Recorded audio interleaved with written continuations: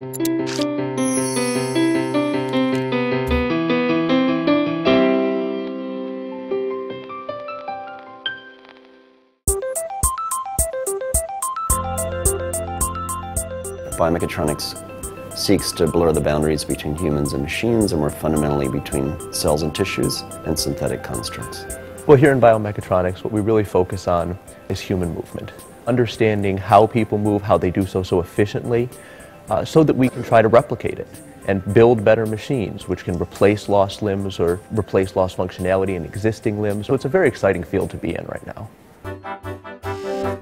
The source of my inspiration some time ago is my own body changed. I became an amputee via a mountaineering accident. And I wanted to return to mountain climbing. So I fashioned my own limbs.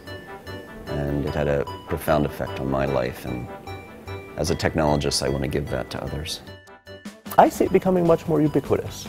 I see it going from something that is kind of hidden, that people cover up, to something that people want to show off that this is new technology and this is as good, if not better, than the old human limbs. So you imagine if you can build something with this sort of technology that lets them lift more or run faster or just move for a longer period of time before fatiguing, it changes everything. Creativity can be taught. To be creative, you have to be willing to take risk. You have to be willing to uh, live in a world of surprises and not a predictable world.